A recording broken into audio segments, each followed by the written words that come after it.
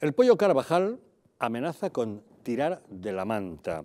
Señala a Pablo Iglesias por sus relaciones con el régimen chavista y se compromete a aportar pruebas al respecto.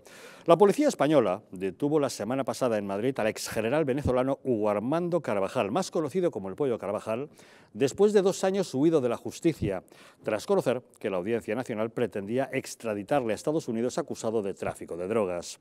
Carvajal había sido jefe de la contrainteligencia militar de Venezuela durante ocho años con Hugo Chávez y Nicolás Maduro.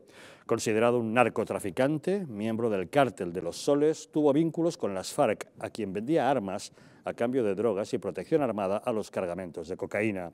El Consejo de Ministros ha acordado extraditarle a Estados Unidos, pero él se resiste y ha pedido medidas cautelarísimas para suspender ese acuerdo, pero el Tribunal Supremo lo ha desestimado. Ayer declaró ante el juez García Castellón y para permanecer en nuestro país ha asegurado que tiene información valiosa para la justicia española que podría comprometer a Pablo Iglesias y dice que aportará las pruebas al respecto. ¿Qué sabe el Pollo Carvajal? ¿Realmente puede probar irregularidades de Pablo Iglesias o de otros? Cuando hoy un periodista le ha preguntado a Pablo Echenique acerca de esas afirmaciones de Carvajal sobre irregularidades de Pablo Iglesias, el portavoz de Podemos ha contestado insultando y faltando al respeto al informador. Simplemente le quería preguntar eh, si el Pollo Carvajal dice, asegura que el juez tiene documentos sobre los vínculos entre Podemos y el chavismo y también vincula al señor Pablo Iglesias. ¿Qué tiene que decir acerca de esto? No tendría yo eh, ningún problema en contestarte si no pensase que, que contestarte es una falta de respeto a tus compañeros y compañeras aquí sentados que son periodistas de verdad. Sí, la falta de respeto es también de las compañeras que nunca me dan paso cuando yo le pregunto y que seamos un medio que no somos palmeros no nos convierte en menos periodistas. Simplemente le hacía esta pregunta. que tengo mucho respeto por los compañeros y compañeras que son periodistas de verdad y por eso no, no te voy a contestar. Yo también lo soy. ¿eh? Tenemos comunicación con Sebastián Martínez Ferrate, él es periodista especializado en geoestrategia e inteligencia internacional. Don Sebastián, muy buenas noches. Muy buenas noches, Javier. Cuéntanos, ¿quién es exactamente, realmente, el Pollo Carvajal?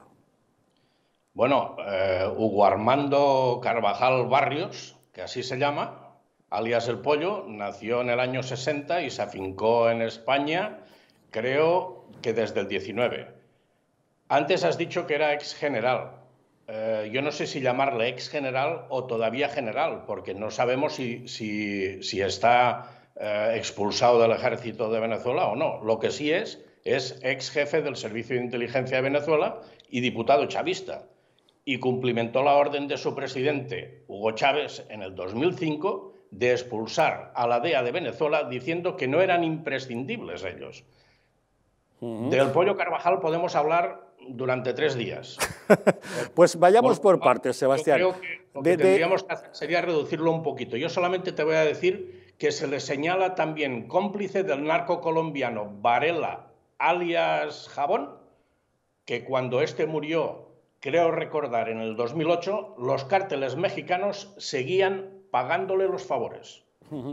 En Estados Unidos tienen muchísimas ganas de que el Pollo Carvajal vaya allí, que sea extraditado. ¿De qué se le acusa? ¿Qué cargos tienen contra él? Bueno, eh, quiero contarte que antes de decirte los cargos que tienen contra él, eh, tiene dos eh, causas abiertas en Estados Unidos. Una en la Fiscalía Sur de Nueva York y otra en la Fiscalía Sur de la Florida. La Fiscalía Sur de Nueva York, conociéndola como la conocemos, de otros, de otros temas, le va a ser muy difícil defenderse de las acusaciones que le hacen. Que son simples pero muy concretas, ya que después las ramificaciones se amplían, con lo cual, ¿qué hacen los americanos? Los americanos eh, te hacen unas acusaciones eh, que puedan, eh, que den para mucho y por eso dejan un campo abierto, porque ya saben que hay más cosas, porque cuando te acusan de narcotráfico ya saben que tienes un montón de, contactos que así que ahí te llevan y así ellos no tienen el peligro de que la defensa del acusado les paralice las investigaciones, aunque conociendo, ya te digo, a la Fiscalía del Sur de Nueva York, bastante difícil. Ahora bien, lo que yo te quería decir. Se le acusa y se le reclama por pertenencia a una organización criminal, que eso ya lo has dicho antes, vinculada al tráfico de drogas, venta de armas a las FARC a cambio de cocaína, protección armada del transporte de los cargamentos de coca y blanqueo de dinero. Ahí, en el, tema de la protección armada del transporte de los cargamentos de coca, el tipo, para, para sacarse esta acusación, dijo que como militar él lo podía hacer. Mentira, porque él como militar no podía hacer eso, él podía dar protección armada a transportes oficiales, pero nunca a transportes de, narcotráfico, en este caso, en este caso de cocaína, ¿no? Recordemos, y podemos recordar también, que su primera detención fue en 2014 en la isla de Aruba, cuando Maduro le envió como cónsul, el gobierno holandés tuvo una petición de la DEA, lo detuvo la policía en Aruba y quiso entregarlo a Estados Unidos. Pero, ¿qué hizo Maduro? Maduro abrió una crisis diplomática porque sabía, sabía que si el pollo cantaba en Estados Unidos se le caía todo el régimen. Y a nosotros lo que más nos llama la atención es cuando fue detenido en España y iba a ser extraditado a Estados Unidos justamente, tal como decretó la Audiencia Nacional, pero se fugó. ¿Cómo es posible que un personaje de estas características pueda escaparse? ¿No lo tenían vigilado? Sí, lo tenían vigilado, pero él lo que no quería, lo que no quiere, lo que no quería, ni lo que quiere ahora es que le extraditen a Estados Unidos, porque sabe que la pena que le caería sería cadena perpetua. Exactamente eh, lo mismo que a los eh, hermanos Orejuela del cártel de Cali o al mismísimo Chapo, Chapo Guzmán y a otro, o a otros más, ¿no?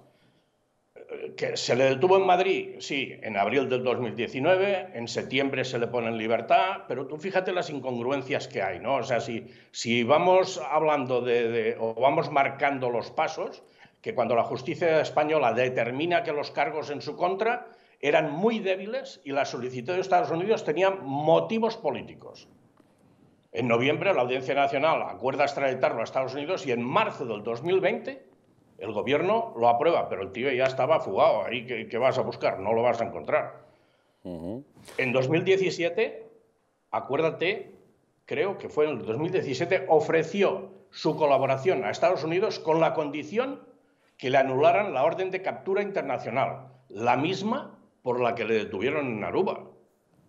Y hay más. Ahora mismo Venezuela le reclama con la acusación de traición a la patria ya que en 2019 alentó a ejecutar un golpe de Estado contra el gobierno venezolano. Pero yo supongo, y creo que todos estaremos de acuerdo, en que esto es una trampa que pone Venezuela para que mm, el pollo Carvajal no vaya a Estados Unidos y lo pueda recibir él como había hecho hasta ahora.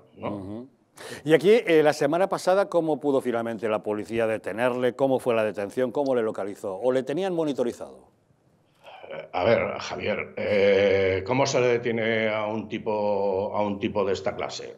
Es un tipo famoso, se le detiene, como todos sabemos, en, la calle, en un piso a la calle Torrelaguna, cercana a Arturo Soria, donde vivía con Astrid Viloria Palacios.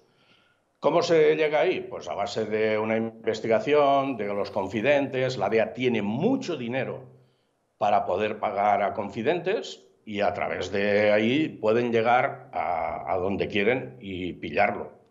¿Lo han pillado así? Pues lo han pillado así, pero es que no, no, no hay, no hay un, o sea, no hay un manual de, de, poder hacer un seguimiento a un tipo de este, de este calibre. ¿no? Ya, pero el hombre se había hecho la cirugía estética, utilizaba pelucas, estaba encerrado en casa y salía hasta disfrazado al balcón para que no le vieran nunca, ¿no? Bueno, que usara pelucas para salir a la terraza, por si se le podía identificar, es posible. Pero la, cirugía no creo, porque fíjate, a la vista está en las fotos que se publican en la declaración ante el juez de, ayer, ¿no? Que se le ve un poco más gordo y al parecer que le creció un poquito el pelo, pero es identificable al 100%. bueno, pues, pues nos dejamos de su aspecto y de sus pelucas y vamos al tema Mollar que nos ocupa. Ahora amenaza con tirar de la manta y señala a Pablo Iglesias. ¿Tú crees que de verdad puede tener pruebas contra Pablo Iglesias y Podemos? Bueno, él dice que es su secreto, que su secreto es este y, que tiene, tiene pruebas y que tiene tal, dice que tiene un pendrive mm, que está hasta los topes, que no le cabe ni una coma. Dice que el expresidente Zapatero y el partido de Pablo Iglesias Podemos fueron y siguen siendo financiados con dinero procedente del narcotráfico. Hombre, mm, si nos basamos en, la, en, el relato periodístico de, Orlando Avendaño, coeditor del periódico El American, que atribuye la información a fuentes cercanas de la DEA, cosa que, conociendo a la DEA, es bien difícil de que alguien te pase información y más a un periódico mm, eh, que no es de primera, o sea, no es de primera división, ¿no? Pero bueno, él, lo dice y así debe ser.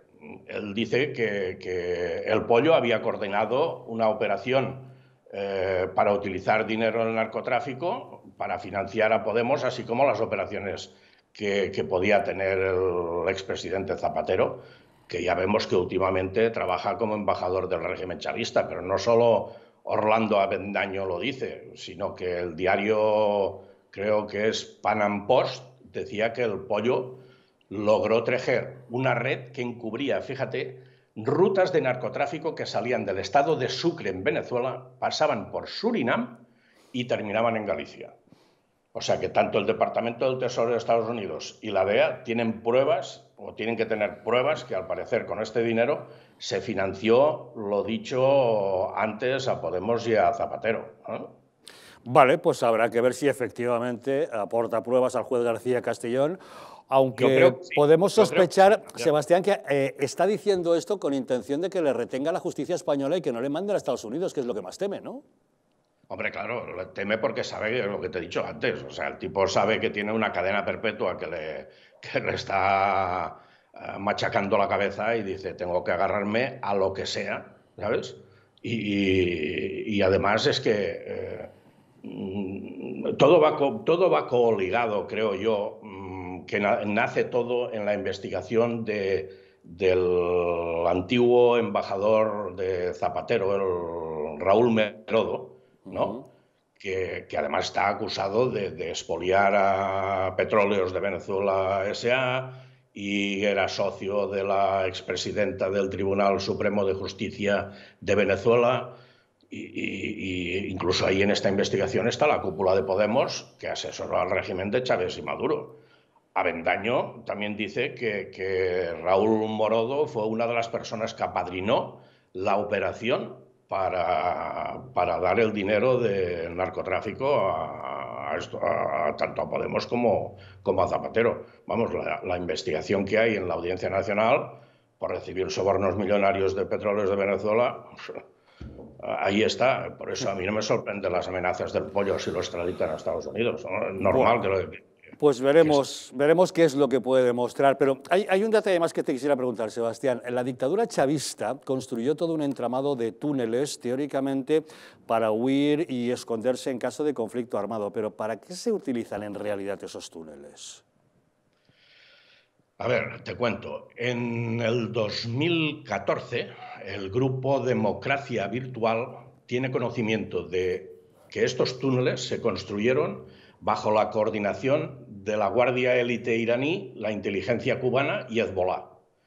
Tienen poco más de 17 kilómetros localizados principalmente en la capital, en Caracas, y específicamente eh, en Puente Tiuna, Palacio Miraflores, Banco Central, Plaza de Venezuela y, eh, ¿cómo se llama este? El cuartel de la montaña. ¿Su finalidad cuál es? Brindar facilidad y seguridad de la movilidad de grupos de élite del régimen de Hezbollah y fuerzas militares en caso de una acción armada en contra del régimen. ¿Qué hay ahí dentro? Según se dice, hay cantidad de armamento, muchísima munición y equipos de comunicaciones que están preparados, fíjate, estos túneles para albergar a 1.500 hombres. O sea, el que es muy especial es el que está, según me cuentan, es el que está situado en el cuartel de la montaña donde descansan los restos de Chávez y es ahí donde tiene la base de operaciones Hezbollah, en Venezuela. ¿Y sabemos quién es el, nombre, el hombre fuerte de Bola en Venezuela? Tarek El Ayasami. Se comunica este túnel con el túnel de Fuente Tiuna. ¿Quién lo dirige?